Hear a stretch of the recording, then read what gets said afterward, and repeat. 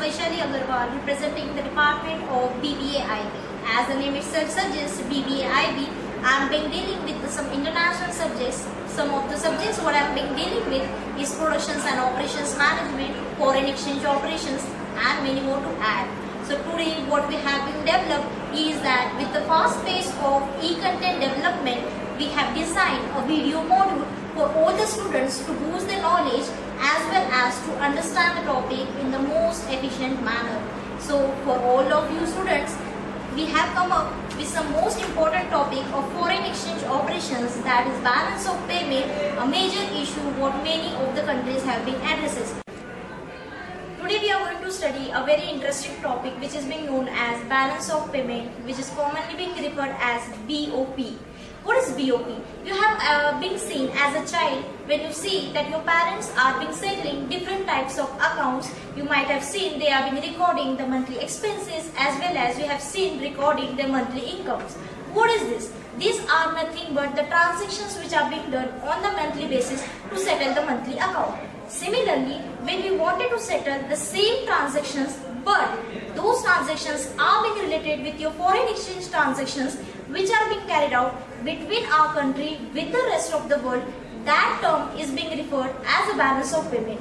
We are going to learn the balance of payment in detail in coming slides. So let us move to the BOP and understand today what is a BOP and its components. When we talk about dealing with foreign exchange transaction, we must understand first what does foreign exchange means. Foreign exchange means any other currency other than domestic currency. For example, we have our domestic currency as rupees. So for us, the foreign currencies are dollar, dinar, pound, sterling and so on. Similarly, let us understand that when we go on for the international transactions, why, what are the reasons where we require the foreign exchange? So first point you can see, first thing is that whenever we import particular goods, we require the payment of foreign goods. Secondly, is to make or to go for the foreign tours. Thirdly, you can see if you wanted to purchase any assets in the foreign countries.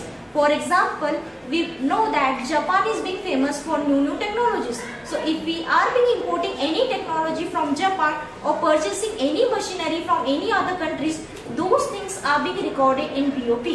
Let's move for, forward. Now we have to understand what is import and export. So all the transactions which are being done goes into two hands. One is your import, other is that export. Now what does import and export forms will have a detailed analysis. Now as far as India's top 5 trading partners are concerned, India has been also a top 5 exporting partners. Now if you can see, we uh, as far as India's top 5 exports are concerned, we have we are being exporting petroleum products, precious stones, drugs, gold and many more things. Similarly, we are the importing partners for crude petroleum, gold, petroleum products and many more. So similarly, let's move forward to our main concept which is being known as BOP. So let's move forward to understand in detail. Now BOP is nothing but it is actually an account. Now what is this account? Now normally any account consists of two things. One is your debit side and other is your credit side. So similarly whatever the transactions are being done, whatever foreign transactions are being done between our country with the rest of the world, an account is being maintained systematically and those account is being recorded in the BOP. So in terms, I can simply say that BOP is nothing but it is an accounting statement in which we record all the economical transactions which are being carried out between resident of the country with the rest of the world. Here we have now we have to understand like as we have to deal today with the components of BOP, let us first understand broadly what are the components of BOP. So components of BOP are broadly being classified into two things. One is your current account and second is your capital account. So here whatever transactions will be done will be recorded either in my current account or maybe in my capital account. So let's move forward. Now as we have seen current account as well as capital account, now, as far as current account is concerned, whatever transactions which are being related with your capital account will be recorded in your capital account. But then, again you can see in this slide that your capital account is again being divided into two important parts. One is your visible items, second is your invisible items. Now, when we talk about visible items, visible item is all those items which can be seen. Especially we can consider is as an export and imports of any goods or any visible item. For an example, as specified, we have crude oil, cars, mobiles, computers as well as gold. For example, if I am importing a car from XYZ country, so what am I importing? I am importing a particular goods. So that goods will be recorded in my current account transactions. Similarly, let's move forward to the invisible item.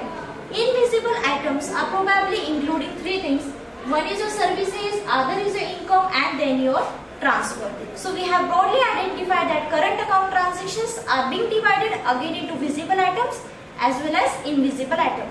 Now let's move forward what BOP stands for again second point which is capital account transactions. Now capital account transactions deals with all your capital receipts as well as your capital payment as well. Now let us understand all those things in some more briefly manner. First we will be studying out current account. Now current account is being divided into three phases. You can see it.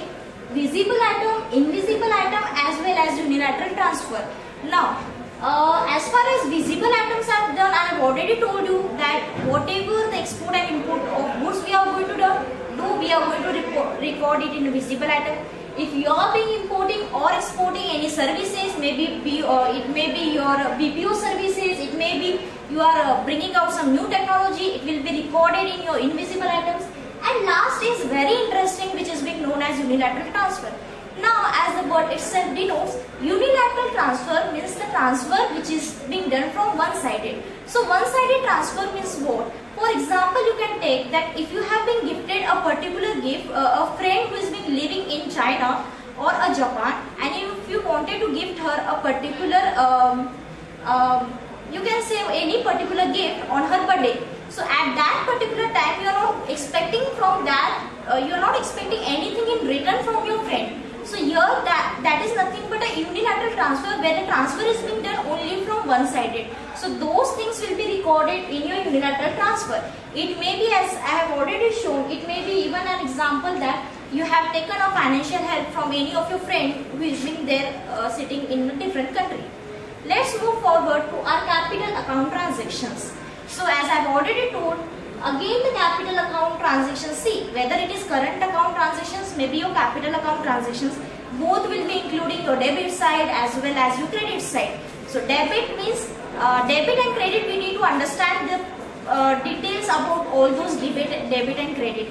It is always better that your BOP position must be in surplus. So you always want your credit must be better than your debit side. So here if you see credit side is being again being recording your official as well as private borrowing and so uh, as far as debit side it will be recording your investment of your capital which is being invested. Now uh, a simple short form will be going for debit and credit of your capital account transactions. For example, whenever you are being importing a particular goods and services, you will be recording it on debit side. But then when you are exporting that particular goods, you will be recording it on the credit side. So now you need to understand why your credit side should be more. Because when you are crediting the particular transaction, it means you are exporting a particular goods and services. So when you are exporting a particular goods and services, you will be your foreign exchange will be coming into your country which refers your BOP in a better position. So we always want our credit side to be much better than our debit side. So hence move forward to identify a difference between a new term which is being known as balance of trade and balance of payment. However, both these terms are being interlinked to each other. Let's understand in detail what does the difference stands for. Now here if you see, uh, I have de uh, determined a difference between BOP as well as BOT. Simply to say, whatever economical transactions have been there, we have already discussed, we are going to record in BOP. But then BOP is going to record all your current account transactions as well as capital account transactions. But then BOT is nothing but BOT stands for balance of trade. Here we are going to talk only about trading of goods and services. So here only current account transactions will be recorded in BOT. So here if you wanted to differentiate between both of them, BOT is a narrow term as well as BOP is a broader term. Why so? Because in BOT, we are going to record only current account transactions, but in BOP, we are going to record current account transactions as well as capital account transactions. Now, let's come to our main point. After analyzing all these components of BOP, we have got a short idea what is BOP and where are the transactions we are going to record. But then, after all, when all the transactions are being recorded, we need to come out to our analysis point. So here is the analysis of our BOP. It is always seen in a perfect scenario that the balance of payment should be zero. But this doesn't happen many more. So let us analyze now again that is being divided into three parts. Either BOP must be in balance, it may be surplus, it may be credit uh, deficit. So as far as India is being concerned, we are being facing a BOP deficit. So now we need to understand how come. Because it is always better, I have already told you that credit side must be more than debit side. But then it is hardly being seen in some of the cases. So here, if your debit is equal to credit, we can say that we are being experiencing a balanced BOP. But then, again second case, if your credit is more than your debit, you will be experiencing surplus BOP and if your credit is less than debit, then you will be experiencing a BOP deficit. Now let's come out to the most important topic that after analyzing so uh, the BOP, what is what is uh, different, what is mean by BOT, the difference between BOT and BOP and then analyzing the components of BOP and then understanding what is the current account transactions, what are the capital account transactions. Let's move on to a particular case study which is being already available. You might be already knowing about the growing state of India's BOP which has been observed after the post-reform period since the crisis of 1991 which was being continued in the year 2005 and 6. So for more details, you can more study, you can go for the more uh, analysis of this particular case study. So now coming to our last point, after analyzing the entire concept, today's assignment question for all of you is that we need to name the two parts of the BOP accounts.